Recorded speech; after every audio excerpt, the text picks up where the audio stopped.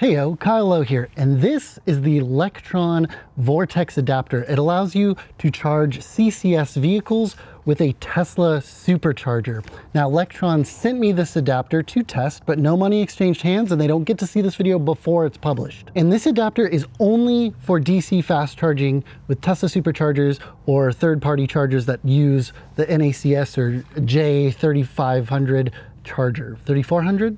3500, 3400. You can see it does not have the pins for uh, AC slow charging like at home charger or destination charger, only fast charging. And this is a very high quality adapter. It's the same adapter that Ford and other manufacturers are providing to uh, the original owners of some of their vehicles. In fact, there is another YouTube video that I'll link down in the description where someone has cut this adapter in half to show you all the really high quality metal and components inside this adapter. In fact, Hyundai was supposed to provide one of these adapters, but they did a really bad email rollout and I believe my email ended up in my spam and got deleted.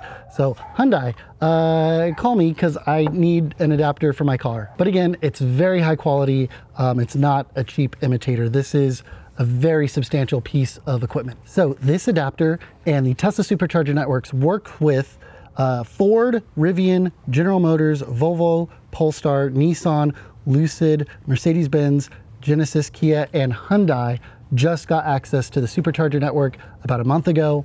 So let's go test this out. Meanwhile, at the Krusty Krab. I'm going to open the Tesla app and tell them I am at 4A, plug this into the Tesla charger, and hopefully my car will start charging.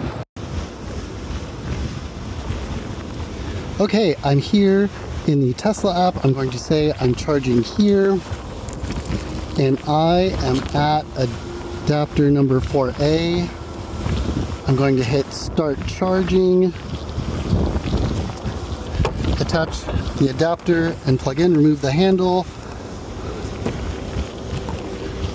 attach your adapter. You need to push this little button on the bottom of the adapter to get it to click in. Open up the charge port on my car, open up the CCS DC connectors and connect to the car. Let's take a look inside the car. Okay, the car is receiving 38, 46, 54 kilowatts. We're, we're moving up. That's great. I have 38 minutes, 30 minutes to 80, 38 minutes to 90%.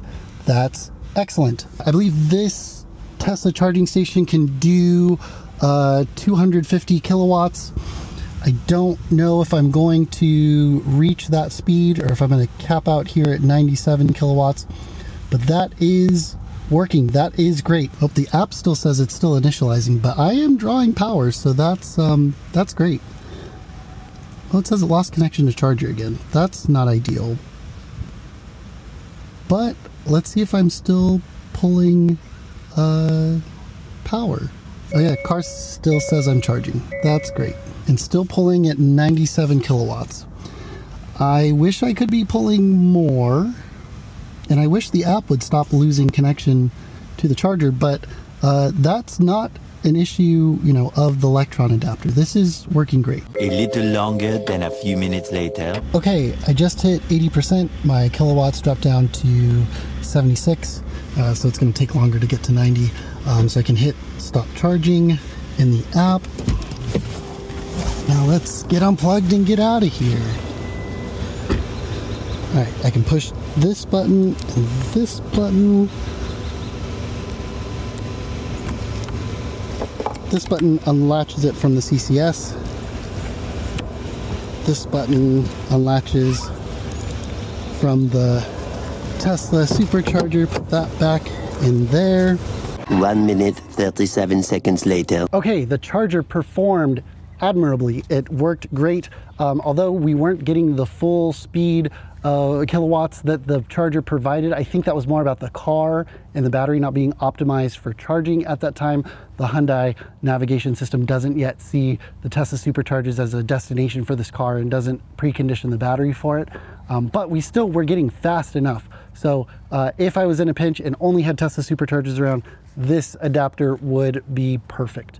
Um, I really, really like the build quality. Thank you, Lectron, for sending it my way to test out.